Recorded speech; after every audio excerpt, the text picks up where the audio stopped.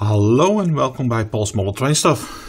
Vandaag en volgende week drie Ludmilla's uh, Duitse banen. Uh, in ieder geval één Duitse baan. één uh, Custom Railion en één Tsjechische spoorwegen als ik het goed heb. Ehm, deze heb ik eerder behandeld. Ik wist niet wat voor merk dit was. maar ik heb er nu een Pico bij en die ziet er hetzelfde uit. Dus nu weet ik het helemaal zeker. Het is een Pico, zoals andere mensen al zeiden overigens. Dit is Roco. Uh, deze Roco is uh, nu nog analoog, maar digitaal voorbereid. Uh, even kijken. hij rijdt.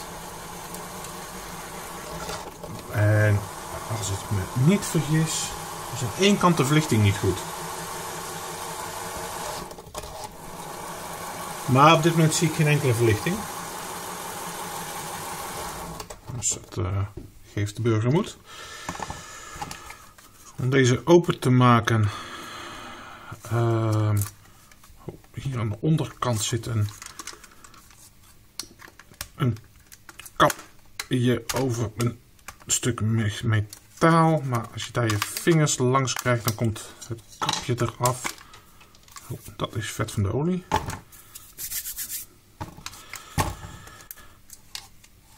En als het goed is, komt er dan de kap zelf ook makkelijker af. God, wat een plakspul is dat. Het ging makkelijker toen ik geen last had van die olie. Zo.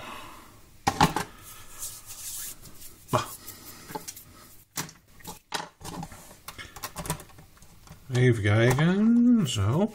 Hier zit de plug waar uh, de decoder kan. Hier zit een mooie ruimte voor de decoder. En deze kant op is er geen verlichting. En deze kant op is er een heel klein beetje verlichting. Kijk. Dus uh, dit lampje is of kapot. Uh, of het, het maakt geen goed contact. En ik sluit geen van beide uit. Ik heb het idee.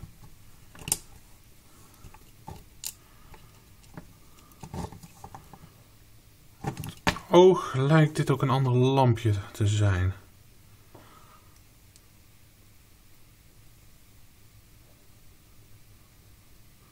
Ik weet niet helemaal wat dit voor lampje is.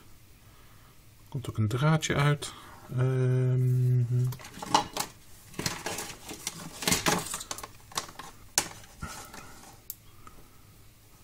heb hier helemaal geen losse draadjes liggen met gewoon stroom erop. het lampje doet niets meer.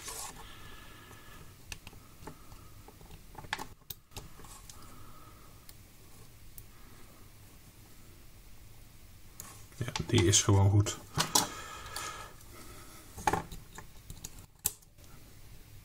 Even een vervangende lamp vinden. Uh, ik ga daar een decoder in zetten, want ik wil er ook mee gaan rijden. Ja, eerst lampje. Hier heb ik het eh, vervangende lampje. Ik zat nog even te kijken naar de binnenkant van deze kap. Uh, hier zitten dus een heleboel lichtgeleiders in. Zodat uh, de gloeilamp zowel de voorkant 3 punts als de achterkant 2 punts verlicht. En dan, dan kruislinks voor de andere kant op rijdend. Um, ik zal even kijken. Uh, het gloeilampje dat is gewoon erin klikken. En uh, even kijken, zit die goed?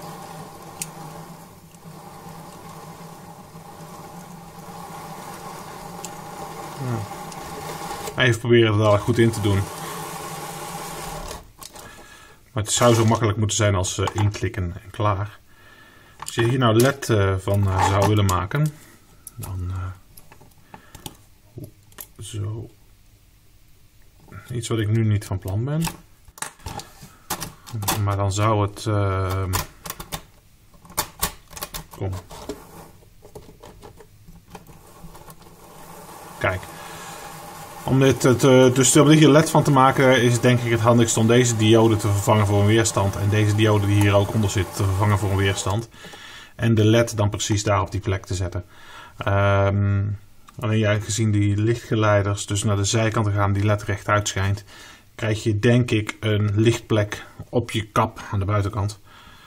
Dus het is niet uh, helemaal mooi. Dus dan zou je beter kunnen kijken of het mogelijk is om um, ja, je weet wat rood en wat wit is om dus twee leds tegen elkaar aan te zetten uh, en hierop te zetten. Eentje die de ene kant op schijnt, de andere die de andere kant op schijnt. En dan zou je met wat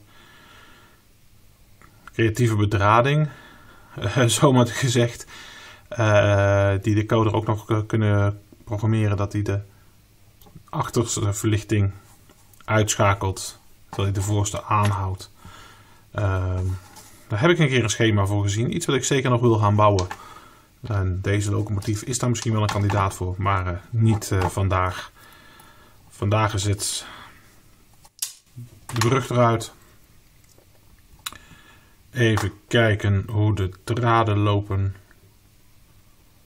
Uh, en anders gewoon een gok doen. Hij staat nu nog ehm, op analoog, maar ik weet dat deze decoders uh, ook analoog kunnen rijden. Kijk. Goed felle lamp, die helaas wel wat minder wordt als de locomotief even rijdt. Dat komt ook omdat de transformator die ik gebruik niet heel veel vermogen levert. Die decoder die past hier zo mooi in. Uh, ik ga mijn rollenbanken even wisselen voor mijn digitale baan. Sterretje omzetten, meer is het ook niet. Uh, dat ik hem even kan programmeren en daarna dat ik hem even kan testen. Zo, voor de oplettende kijker, ik heb mijn Logpilot 4 gewisseld met een Logpilot standaard. Uh, ik was net aan het testen met een 4, maar die wil ik bewaren voor een ander project. ik heb hem niet echt geprogrammeerd. Ik heb even zijn adres gezet en uh, opgeslagen. En wat mij opvalt is. Uh, nou, de verlichting is nu een heel stuk feller dan uh, met die transformator. Dat is echt het beperkte vermogen van die oude transformator. Maar als deze trein gaat rijden. Dan gaat het uh, licht wel enigszins knipperen. En ik weet nog niet hoe storend dat zal zijn. Ik weet ook niet ehm, of het beter zou zijn op mijn baan. Maar op mijn werkbank het valt me wel heel erg op. Ik weet ook niet eens of dit op film goed te zien is. Wat ik zou kunnen doen. Uh, is een, er zit hier al een kleine ontstorings. Hoe noem je dat? Condensator in. Ik zou er dus nog eentje bij de verlichting.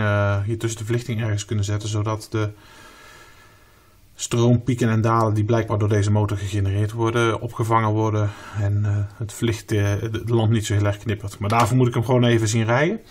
En als ik, zie, als ik hem zie rijden, dan weet ik of ik het storend vind of niet. Maar tot op heden is dit... hij rijdt prima, hij maakt wat, wat geluid. Zoals, ja, hij moet denk ik een beetje gesmeerd worden. Ik heb net wel de uiteindes alvast gesmeerd. Maar, ik ga eerst kijken hoe die zich, hoe die zich houdt als ik hem op de baan zet.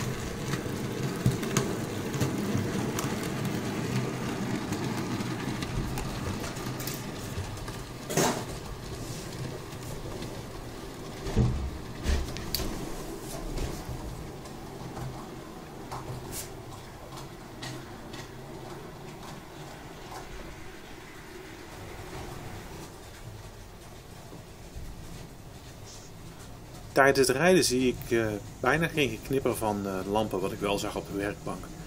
Ik zie het wel als hij over wissels heen rijdt. Uh, dat is gewoon stroomonderbreking op een paar vuile stukken baan.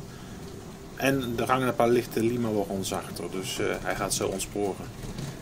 In ieder geval bedankt voor het kijken, like, subscribe en tot de volgende video.